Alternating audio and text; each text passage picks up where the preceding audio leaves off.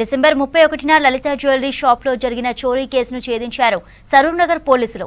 నిందితుల నుంచి పన్నెండు లక్షల విలువైన పంతొమ్మిది తులాల బంగారం స్వాధీనం చేసుకున్నారు. కర్మన్ ఘాట్కి చెందిన భూపేష్ గుప్తా నగర్కు చెందిన గౌతమిని అరెస్ట్ చేశారు పోలీసులు. నిందితురాలు గౌతమిపై రాచకొండ హైదరాబాద్ సైబరాబాద్ కమిషనరేట్ పరిధిలో పలు చోరీ కేసులు ఉన్నట్లు గుర్తించారు.